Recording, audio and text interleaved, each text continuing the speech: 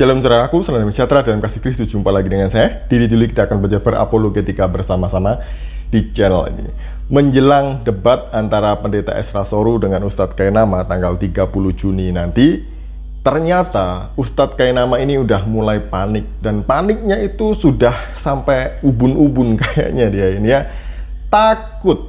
Kenapa dia takut? Takut Pak Esra tanya mengenai riwayat pendidikannya takut ditanya mana bukti ijazahnya gitu ya. Jadi dia bingung bahkan sampai dia keceplosan membuka aibnya sendiri. Jadi lucu ketika dia mengomentari Pak Bambang. Sebelumnya mari kita bersama-sama melihat video berikut ini.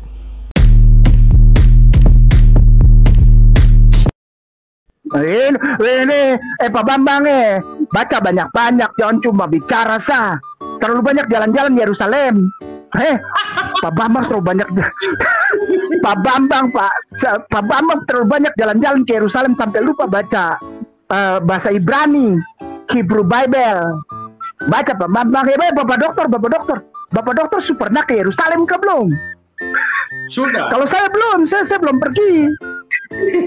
Uh, dari Yerusalem 2 jam 15 menit, 2 jam 20 menit. Jadi saya belajar bolak-balik dari Haifa Yerusalem Haifa Yerusalem. Dan ini dibayari bukan gratis. Ini di, ada yang bayar ada yang sponsor. Saya nggak pernah pergi. Nanti Bapak Esra tanya lagi. Nanti tanggal 30 Juli Bapak Esra tanya begini eh kayak nama mana kau punya ijazah? Dari Haifa tidak ada Bapak Pendeta tidak ada. Hmm. jadi saya tidak malu kalau bicara. Yang malu itu orang yang mengaku dokter tapi ternyata salah. Itu malu. Kemudian tak sampai di situ beliau terus meneruskan pendidikannya di S3 di Tanak Biblical Studies Haifa Israel dengan mengambil uh, bidang minat Holy Scriptical Biblical. Gitu toh? Ya toh? Mengaku dokter teologi tapi salah. Eh malu. Kalau beta tidak. Ditanya punya ijazah dari STT Jakarta. Oh tidak ada Uh, sejak S1 saya di Sekolah Tinggi Teologi Jakarta, Jalan Proklamasi nomor 27 Menteng, nyebrang Metropol. Kalau ada yang dari Jakarta tahu Metropol, lalu kita nyebrang ada kampus Sekolah Tinggi Teologi aja di sana. Setelah selesai itu, sampai dengan saya menyelesaikan S2 saya di bidang teologi liturgi di Leiden sana, uh, di negeri Belanda. Dari Leiden tidak ada, tidak ada, tidak ada. Lalu ke Haifa, kok punya ijazah mana? Kok pernah ke sana? Oh tidak. Tidak pernah. Kemudian tak sampai di situ beliau terus meneruskan pendidikannya di S3 di Tanak Biblical Studies Haifa Israel dengan mengambil uh, bidang minat Holy Scriptical Biblical. Ini ini susunannya. Selesai dari sana pertama dari Haifa pertama, saya pulang ke Indonesia lalu saya ditahbiskan. Diangkat disahkan untuk menjadi pelayan di rumah Tuhan. Dan itu valid dan itu valid silahkan dicek jadi jangan harap beta tidak datang 30 Juli insya Allah Allah sayang Allah sayang Allah berkahi beta eh? oh, beta datang Surabaya baku dapat dengan Pak Esra ta? iya Bapak Deki beta datang Surabaya 30 Juli tiket su ada Bapak Deki tiket su ada itu satu siapa itu yang yang ngomong bilang ngomong kosong bilang sekolah di Haifa tuh siapa? S3 di Haifa tuh? Nama nih yang nggak pernah sekolah nih. Saking asiknya dia ngeledek Pak Bambang, salah-salah, kemudian nggak bisa baca kitab bahasa Ibrani katanya. Dia ini loh nggak ngaca apa ya. Pak Bambang itu doktor dan dapat dipertanggungjawabkan.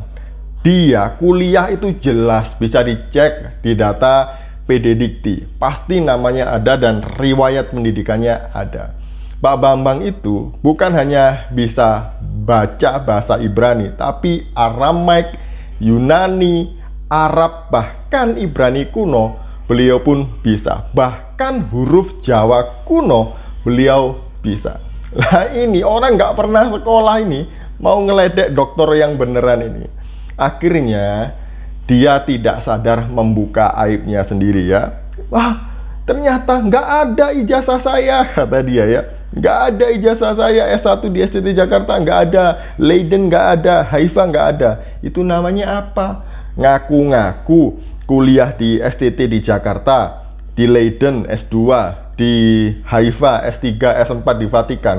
Ternyata semuanya ini tidak ada buktinya, semuanya omong kosong. Kalau orang salah, seperti Pak Bambang mungkin ya dia salah ngomong atau salah baca, itu normal. Kalau orang tuka, sukanya berbohong, terus-terusan berbohong, itu saya rasa kurang normal. Jadi itu ya.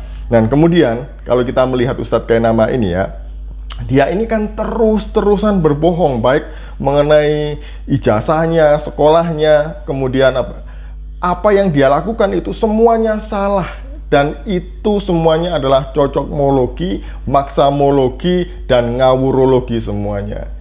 Yang lucu dia bilang, "Sudah pernah ke Yerusalem?"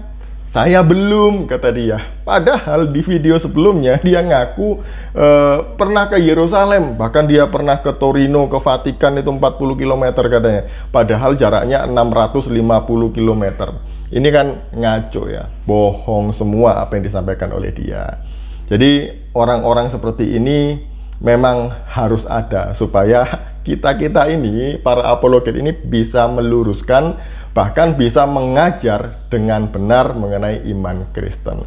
Tapi anehnya, banyak orang yang percaya dengan Ustadz Kainama ini ya, meskipun dia ngawur-ngawur, ngaco-ngaco, bohong-bohong tentang identitasnya, tentang uh, riwayat pendidikannya, tapi ya banyak sekali orang yang percaya mengikuti dia gitu loh.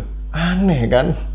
Tapi ya sudahlah itu bukan urusan kita lagi. Kita tunggu saja debat spektakuler katanya ini. Tapi apanya yang spektakuler ya? Akademisi Pak Esra dengan orang yang tidak sekolah.